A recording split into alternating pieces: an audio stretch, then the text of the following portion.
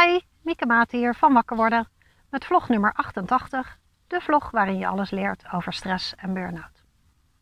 In deze video wil ik je graag iets vertellen over een drukkend gevoel op je borst uh, of een beklemmend gevoel op je borst als gevolg van uh, langdurige stress, overspanning of burn-out. Dat is namelijk een heel veel voorkomend symptoom bij langdurige, bij chronische stress, is dat je um, ja, een, een beetje druk op de borst gaat ervaren. Nou is dat een, uh, een signaal wat je lichaam geeft, wat je echt wel even serieus mag nemen.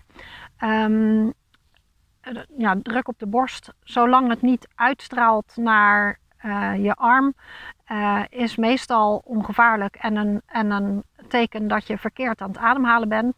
Maar bij twijfel laat altijd even het controleren. Dus ga gewoon even naar de dokter en laat uitsluiten dat er niet iets ernstigs met je hart aan de hand is. Want juist die angst um, en die onzekerheid die maakt ook uh, dat je nog weer meer stress krijgt en zo is het cirkeltje rond. Maar als er uitgesloten is dat het een hartprobleem is, dan heeft het dus te maken met, uh, met de stress. Uh, en dat is dan een heel logisch gevolg, want bij stress gaat je ademhaling omhoog en ga je um, ja, eigenlijk meer zuurstof binnenhalen. Waardoor je een beetje een drukkend en benauwd gevoel krijgt. Want je, je bent eigenlijk gewoon aan het hyperventileren. Um, ik wil je een aantal tips geven om daarmee om te gaan. Um, en uh, de belangrijkste tip is dat je je ademhaling onder controle gaat krijgen. En dat je weer ja, de verhouding tussen zuurstof en koolstofdioxide in je lichaam weer goed gaat krijgen. Dus uh, dat betekent eigenlijk dat je uh, meer uit mag gaan ademen dan dat je inademt. Uh, en er zijn verschillende manieren om dat te doen. Je kunt eventjes rustig gaan zitten of liggen met je handen op je buik. En dan ga je naar je handen toe ademen. En dan adem je drie seconden in of drie tellen in en vijf tellen uit. Uh, waardoor je dus een langere uitademing krijgt en je adem weer rustiger gaat worden. En dan zul je merken dat dat drukkende, beklemmende gevoel op je borst minder gaat worden. Uh, een tweede tip is als je, um, als je een telefoon of een, uh, een, laptop bij de hand hebt, dan kun je op de toolspagina uh, van mijn website www.wakkerworden.nl onder het tabblad tools um, een YouTube video vinden en die heet de Respiro Guide. En daar wordt die ademhaling dat ademhalingsritme eigenlijk een soort van aangegeven. Daar kun je mee meeademen. En dat is een hele makkelijke manier om je ademhaling uh, weer onder controle te krijgen. Uh, een derde tip is: ga zorgen dat je hele systeem weer tot rust komt. En um, ja, dat kun je doen door bijvoorbeeld te gaan wandelen.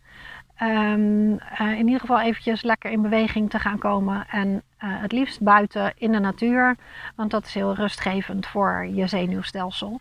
Dus ga zorgen dat, um, ja, dat die ademhaling weer rustiger wordt door te gaan bewegen.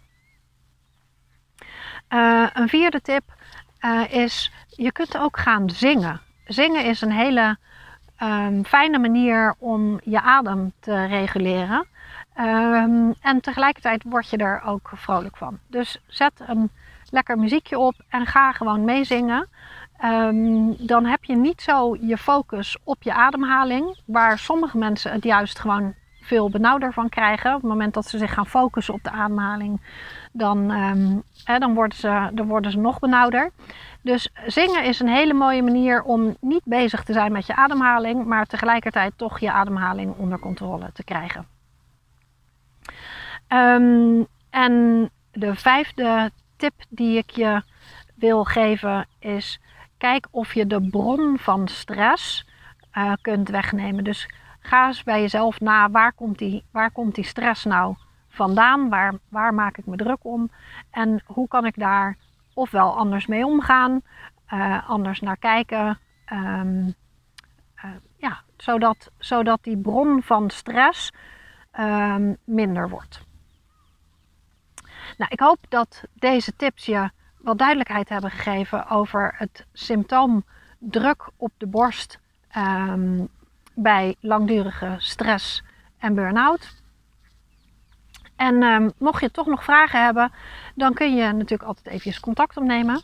Als je deze informatie interessant vond, dan kun je je abonneren op mijn YouTube kanaal. Dan blijf je altijd op de hoogte van alle ins en outs en nieuwtjes over stress en burn-out. Ik wens je een hele fijne dag en tot een volgende video. Doei doei!